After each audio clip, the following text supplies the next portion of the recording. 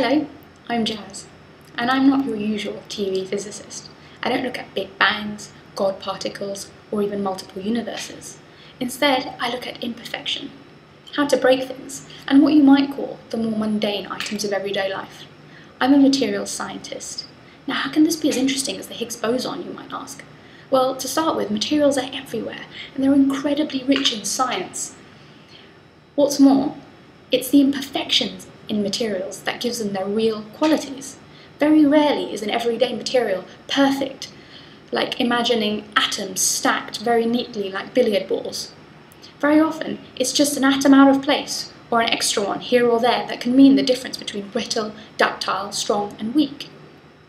What's even cooler is that I'm an expert in materials in extreme conditions, nuclear reactors. Now, inside a reactor core, the environment is very hot, very radioactive, and under lots of pressure.